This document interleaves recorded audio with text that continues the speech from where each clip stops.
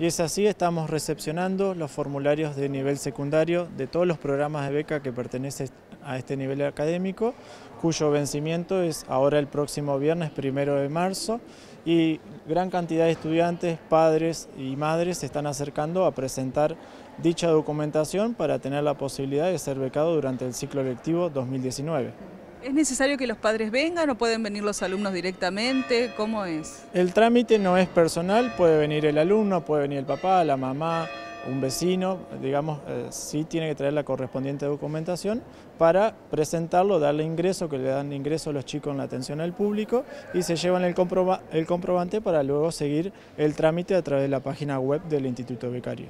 ¿Cuándo podrían estar empezando a percibir la beca?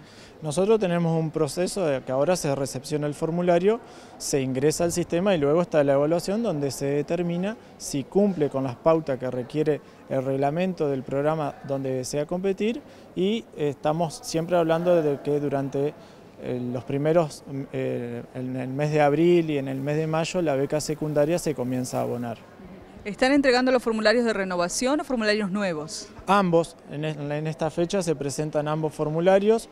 También estamos distribuyendo formularios nuevos para aquellos estudiantes que todavía no han tenido la oportunidad de hacerse dicho formulario.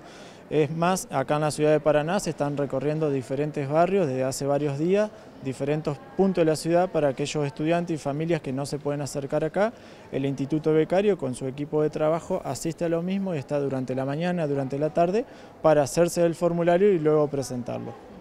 En cuanto a las becas del nivel universitario y terciario, ¿ya también se están recepcionando los formularios? En cuanto a nivel terciario universitario, nosotros lo anunciamos el año anterior, que habíamos, íbamos a cambiar el periodo de pago de dicho nivel académico y los formularios terciarios y universitarios se van a estar eh, distribuyendo a partir de marzo recién, porque todos los estudiantes que terminaron becados durante el 2018 en dichos niveles académicos van a percibir automáticamente a partir de marzo la beca, sin presentar el formulario, la van a cobrar desde marzo hasta junio porque esa beca corresponde a la beca del año 2018.